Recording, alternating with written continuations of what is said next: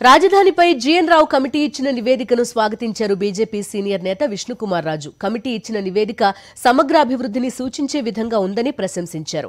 GN రావుతో రాష్ట్రమంతా survey చేయించారని నివేదికకు అనుకూలంగా పనిచేస్తే ఉత్తరాంధ్ర సస్యశ్యామలమవుతుందన్నారు.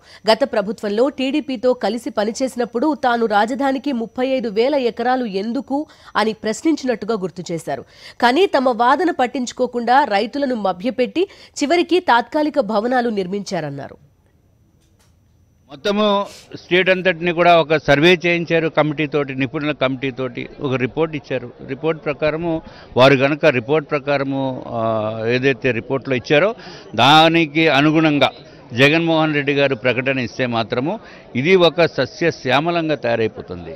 మనం విజయవాడలో తీసుకుని వెళ్ళి అక్కడ క్యాపిటల్ కన్స్ట్రక్షన్ చేస్తే వంద అడుగులకు వెళ్తేనే కానీ ఫౌండేషన్ వేయలేనటువంటి పరిస్థితి. ఇక్కడ ఒక ఐదు అడుగులు ఆరు అడుగులు తవ్వితే మనకి ఫౌండేషన్ మనకి ఇక్కడ సాయిల్స్ మంచి సాయిల్స్ కాబట్టి అక్కడ నిర్మాణం చేయవచ్చు.